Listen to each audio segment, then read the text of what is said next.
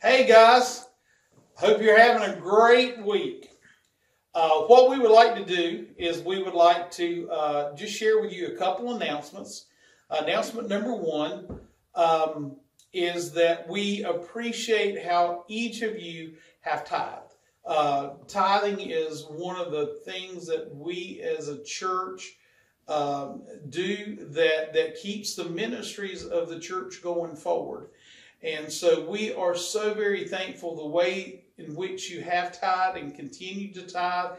We ask that you please keep it up. We're going to be back to church just as quickly as we can, but uh, we're having to do uh, do it in the right way.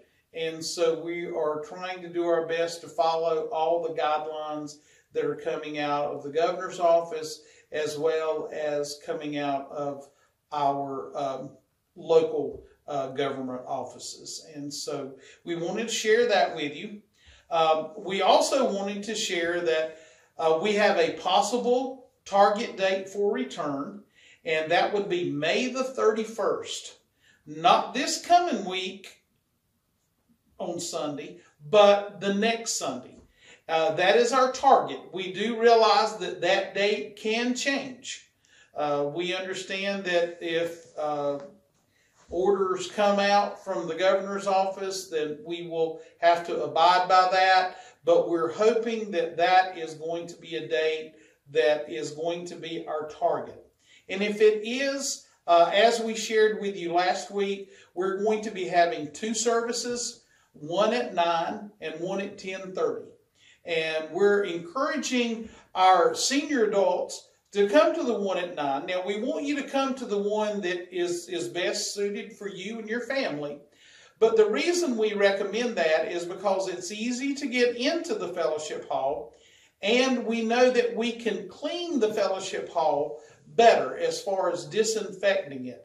And so, but we do want each of you to choose which service that you would like to come to, and you come to that, and uh, we will make things work. We will make things work. We have a few specifics that we want to share with you tonight about what it's going to look like when church resumes. Number one, there will be music but no singing. Uh, this is coming from recommendations, and so we ask that you take that in. Uh, there will be no bulletins, uh, and also in the sanctuary, there will be no hymnals nor Bibles in the pews because of the COVID 19 virus. Also, though we have a new nursery, and it will be open for you to use. There will be no staffing of that nursery at this time due to the restrictions. Also, then, uh, Sunday, uh, there will be no Sunday school and there will be no Wednesday night services at this time. Uh, what we are, are finding out about the virus is that when we give it seven days, uh, it is it is gone, and we're very thankful for that. But it also gives us time to clean and then disinfect. And so uh, there will be no Sunday school or Wednesday night services at this time, but on uh, Facebook and YouTube, we will continue uh, putting our Bible study as well as our From the Heart of Pastor Todd. So we, we want everybody to know that.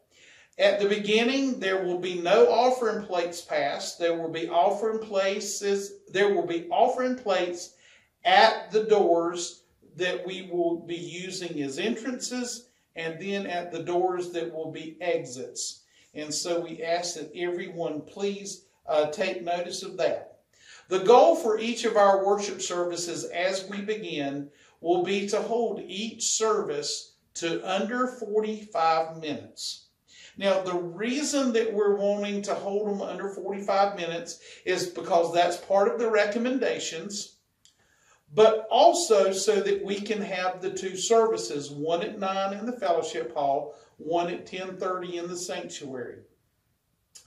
And the reason we're having them at 9 and at 10:30 because by the time service is over following the 9 o'clock service, it will give enough time for those that have attended the 9 o'clock service to be gone before those that are arriving for the 1030 service get here.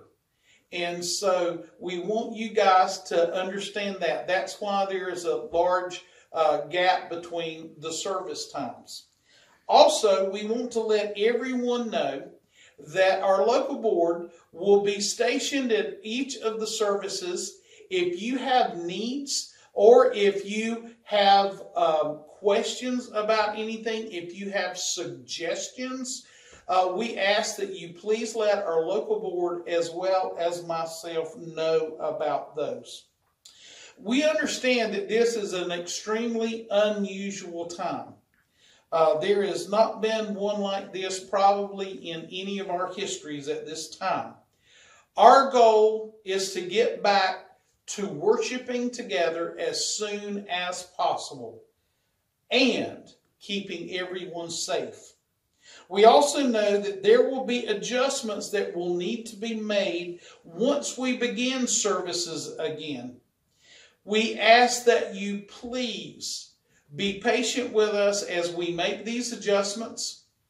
And if you have suggestions, we ask that you please let one of our board members know or myself.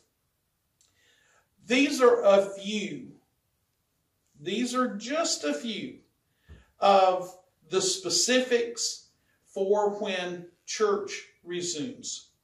We also want to let you know that next week, in our time of recording, we will be recording a video specifically for letting you know what it will look like and the procedures for when you attend our first service. We hope that's on the 31st, but we'll see. But that is our goal.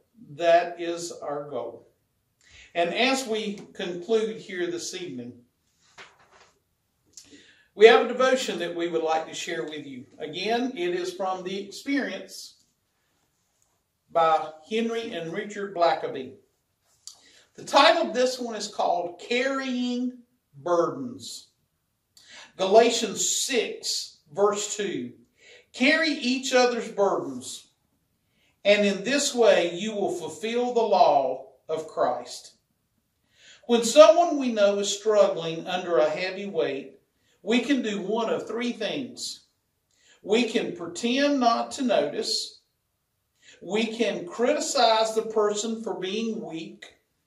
Or we can offer to help carry the load. People carry all kinds of burdens. Some are piled on them by life circumstances. Maybe they're dealing with grief or an abusive parent or a broken home. Others have made foolish choices and now they struggle with the consequences such as pregnancy, addiction, and public embarrassment. You may think their burdens are none of your business. They have the, they have their problems, you have yours. Are you tempted to look down your nose at them for getting themselves into such a mess? Paul says helping them is not only your business, it's your obligation. You can ease their load by showing love, acceptance, and encouragement rather than indifference or criticism. When you are a friend to those in need, you help ease the load they are carrying. There should be no room in the Christian's heart for selfishness when so many people need help with their burdens. If we are surrounded by hurting people, we are not if if we are surrounded by hurting people and we are not moved by compassion, the love of Christ is not in us. It's a great joy and an unparalleled privilege to get alongside someone who is heavy hearted and help them lift the burden. Ask God to lead you to a hurting person today and then watch to see how God wants you to help. As we close this evening, I would like to have a word of prayer with you as we sign off for tonight. Heavenly Father, we think about returning to church and our heart is just filled with joy. Lord, we can't wait to be able to be back in church worshiping together. Father, we also know that there are going to be people that will be nervous about doing that. People that have extenuating circumstances. Our senior adults. Those that are dealing with sickness. And so, Father, we ask that you would help our videos, our recordings. We ask, Lord, that you would help them to be a special blessing. But Father, we also know that others are waiting for the day to come back together. Lord, we want to worship together, but we want to do it in a safe way. And so, Lord, we ask that you would be with us as we work toward resuming our church services. And Father, we ask that you would help all of our people to stay safe we pray, Father, that you would help this coronavirus to be out of here. We pray, Lord, for your complete healing. And Lord, we give you the praise for how you are going to achieve that. And Lord, we pray that you would be with us during this time of heavy rains. Lord, we pray that you would keep everyone safe.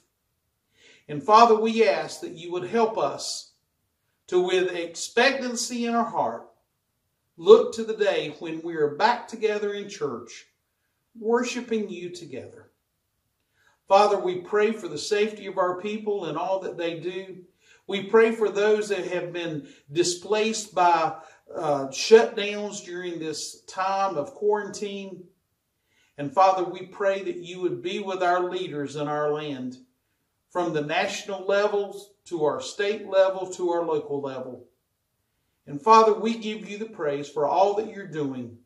Lord, be evident in all of the decisions made concerning the things concerning the virus.